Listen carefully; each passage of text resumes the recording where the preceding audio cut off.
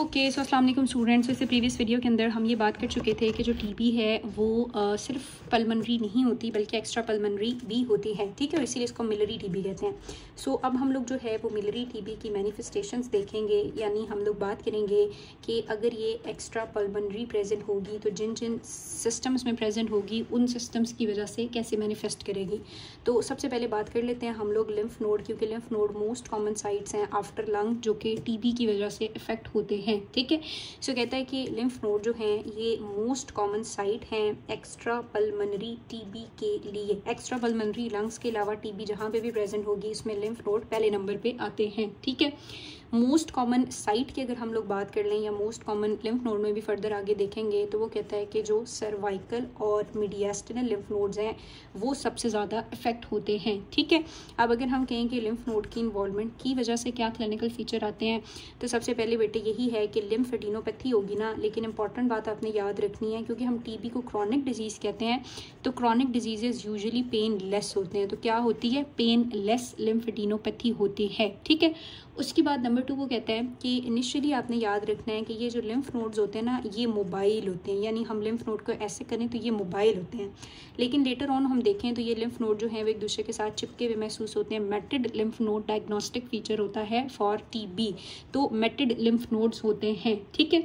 उसके बाद कहता है कि जब आपके लिम्फ नोड पैल्पेबल हैं तो उस टाइम जब आप टिबोकलिन टेस्ट करते हो तो टिबोकलिन टेस्ट स्ट्रॉन्गली पॉजिटिव ही आता है।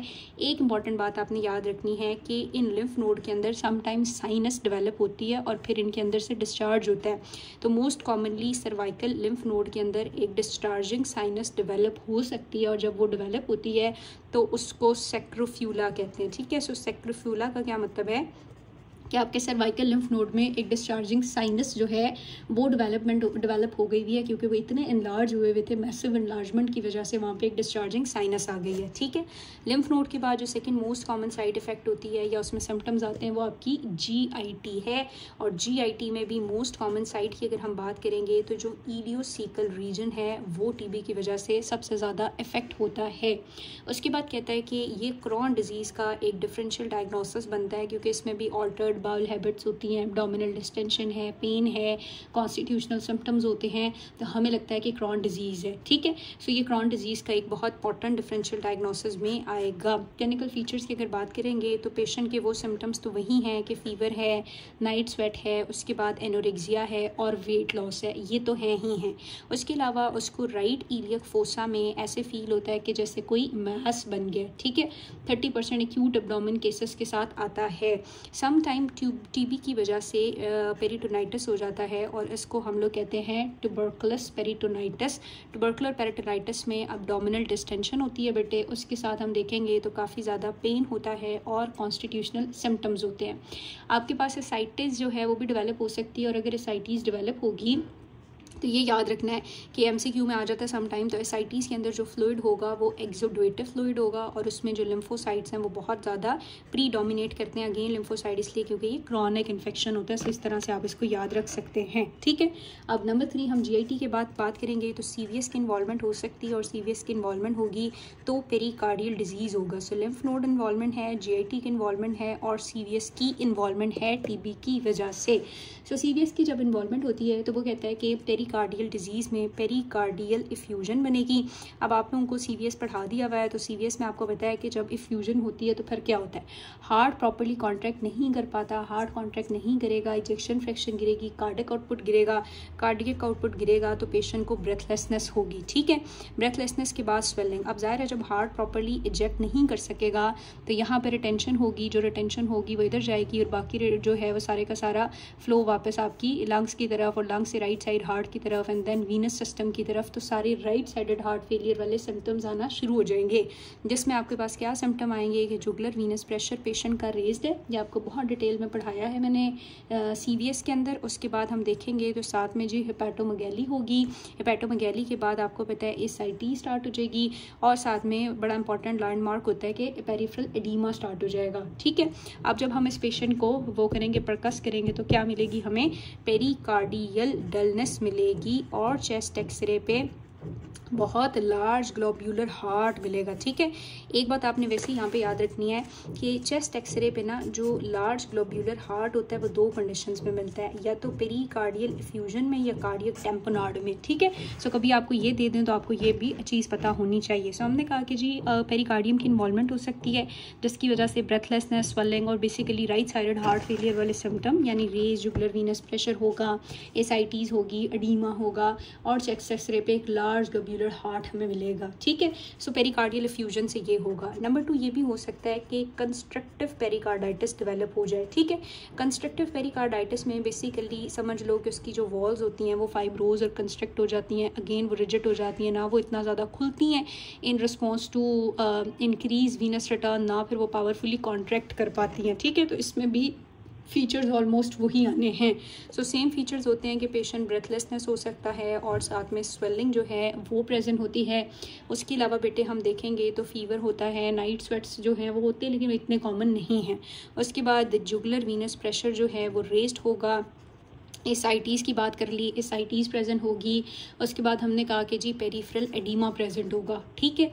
उसके बाद कहता है कि अर्ली हार्ट थर्ड साउंड हो सकती है और 25 परसेंट केसेज में आपको पेरीकार्डियल कैल्सिफिकेशन भी मिल सकती है। ये कंस्ट्रक्टिव डिज़ीज़ में कुछ ऐसा ही चल रहा होता है, ठीक है? एंड देन अगर हम देखेंगे तो आपका सी के बाद जो मोस्ट इंपॉर्टेंट इन्वॉलमेंट है, वो सी एन एस की इन्वॉलमेंट है। सी एन एस में मैनजाइटिस होता है और टबोक्लोमा बनता है। एंड उसके बाद जो मोस्ट इंपॉर्टेंट है बेटे, वो आपकी बोन्स और जॉइंट्स की इन्वॉल्वमेंट है। ठीक है सो सीएनएस में क्या हो सकता है? सीएनएस में मैनजाइटिस होता है। इफ़ मैनजाइटिस हो तो आपको है कि हमारा जो ट्रीटमेंट ड्यूरेशन है, वो छः महीने की बजाय नौ से बारह महीने हो जाता है। ठीक है?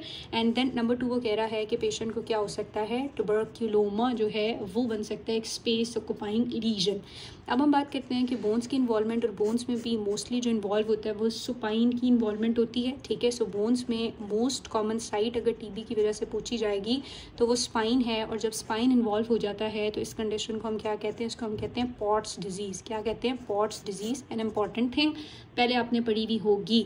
और अगर मैं कहूँ सुपाइन में से भी फर्दर आगे मुझे बताओ कि कौन सी साइट होती है तो सुपाइन में मोस्ट कॉमनली जो इन्वॉल्व होता है, वो हमारे पास लोअर थोरेसिक और लंबर रीजन है। लोअर थोरेसिक और लंबर रीजन है, ठीक है? अब अगर हम क्लिनिकल फीचर्स की बात करेंगे तो जब पेशेंट की बोन्स की इन्वॉल्वमेंट होगी तो उसको क्रॉनिक बैक पेन होगा, यानी हमेशा उसको क्या है? पीछे कमर में पेन रहता है, ठीक है? उसके बाद नंबर टू के फॉसस जो है, वो हो सकती है लाइक वैसे थोड़ा सा बेंड हो सकता है इंटीरियर वर्टिब्रल बॉडी की इन्वॉल्वमेंट की वजह से। और नंबर थ्री वहाँ पे क्या हो सकता है सॉस एप्सेस भी बन सकती है, ठीक है? सॉस एप्सेस जो है, वो एक कोल्ड एप्सेस होती है इन द ग्वाइनल रीजन इसका एक डिफरेंशियल डायग्नोसिस मेलिग्नेंसी बनती है, क्योंकि मेलिग्नेंसी में भी बैक पेन और के फॉसस होती है, ज़्यादातर जो जैसे प्रोस्टेट कैंसर है, जब वो इन्वॉल्व करता है सुपाइन को तो इस तरह के ही फीचर्स आते हैं, ठीक है जी? अच्छा उसके बाद कहते हैं कि नंबर टू हमारे पास जो है वो जॉइंट्स की इन्वॉल्वमेंट अगर होगी तो फिर क्या होगा? तो हमने ऑलरेडी पढ़ा है कि जॉइंट्स की इन्वॉलमेंट जब हो जाए तो इसको हम लोग पॉन्सेट्स आर्थ्रोपैथी या जो भी इसको प्रोनाउंस करते हैं, ये पॉन्सेट्स आर्थ्रोपैथी जो है, ये डेवलप हो जाती है। और इसमें भी अगर हम लोग साइट की बात करेंगे तो मोस्टली जो हिप और नी जॉइंट है ना, वो ही इफ़ेक्ट होते हैं। ठीक है मैं चीज़ें आपको रिवाइज करा दूँगी।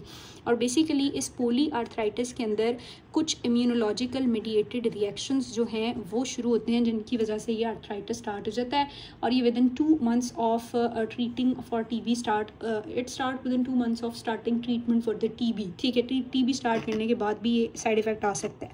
अच्छा तो हमने अब ये कहा कि टीबी सिर्फ़ लंग्स में नहीं होती। टीबी लिम्फ नोड में होगी तो मैटेड लिम्फ नोड मिलेंगे और मोस्ट कॉमन लिम्फ नोड जो इन्वॉल्व होते हैं वो सर्वाइकल और मीडियास्टनल है, ठीक है? उसके बाद मैंने आपको कहा कि इनमें साइनस बन सकती है, जिसको स्क्रोफ्यूला कहते हैं। उसके बाद हमने कहा जीआईटी की इन्वॉल्वमेंट है। जीआईटी की इन्वॉल्वमेंट होगी तो अपडोमिनल डिस्टेंशन अपडोमिनल पेन मरोड हो सकते हैं ऑल्टर बाउल हैबिट्स हो सकती हैं। इफ़ पेरिटोनाइटिस हो गया तो उसमें फिर साथ में क्या हो जाएगा कि आपको बहुत ज़्यादा एसाइटीज़ भी डेवलप हो सकती है। पेरिकार्डियल हार्ट की इन्वॉल्वमेंट में दो साइड इफ़ेक्ट आ सकते हैं। पेरिकार्डियल फ्यूजन या कंस्ट्रक्टिव पेरिकार्डाइटिस दोनों में राइट साइडेड हार्ट फेलियर के सिम्टम आ रहे होंगे। सीएनएस में मेरेंजाइटिस होगा बोन्स में सुपाइन इन्वॉल्व करता है। सुपाइन में भी most common lower thoracic and lumbar vertebra और उसकी वजह से आपको उसको पॉट्स डिज़ीज़ कहते हो और उसमें के फॉसेस बैक पेन होता है और ये एक डी बनता है मेलिग्नेंसी के लिए। और जॉइंट्स में अगर हम देखेंगे तो जॉइंट्स में जब हो जाता है तो इसको पॉन्सेट आर्थ्रोपैथी कहते हैं और इसमें आपको इम्यूनोलॉजिकली मीडिएटेड पोली स्टार्ट होता है। ठीक है? सो ये एक्स्ट्रा पल्बनरी टीबी के साइन एंड सिम्टम्स हैं। ना बात कर लेते हैं डायग्नोसिस की बेटे डायग्नोसिस आप लोगों ने पैथो में पड़ी हुई है काफ़ी ज़्यादा ठीक है डिटेल में और थोड़ी सी हम लोग इसको अभी भी डिस्कस कर लेते हैं। सो so, डायग्नोसिस में वो कहता है कि जो चेस्ट एक्सरे है ये चेस्ट एक्सरे बड़ा ही इंपॉर्टेंट है। मैं आपको एक चीज़ बता दूँ एक टेस्ट होता है पीपीडी ठीक है? जिसको हम लोग वो प्यूट्रीफाइड प्यूरीफाइड और प्रोटीन्स होते हैं। इन प्रोटीन्स को बेसिकली इंटरनर्मल मेरा ख्याल इंजेक्ट करते हैं ना जब हम लोग। तो फिर हम लोग क्या करते हैं कि सेवेंटी टू आवर्स तक नोट करते हैं कि कोई इंड्यूरेशन तो नहीं आई।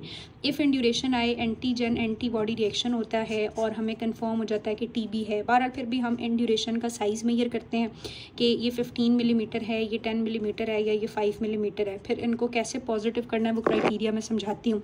लेकिन पीपीडी जो है, ये एक तो ऐसा स्क्रीनिंग टेस्ट नहीं है जिसको सारी दुनिया पर किया जाए। लेकिन ये ऐसा स्क्रीनिंग टेस्ट भी नहीं है कि जिन लोगों में सिम्टम्स आ जाए, उन पे करें। इफ़ सिम्टम्स आ जाए ना पेशेंट को कफ है, खांसी है हिमोप्टिसिस है वेट लॉस है, फिर हम लोग चेस्ट एक्सरे करते हैं। फिर इसकी ज़रूरत नहीं है।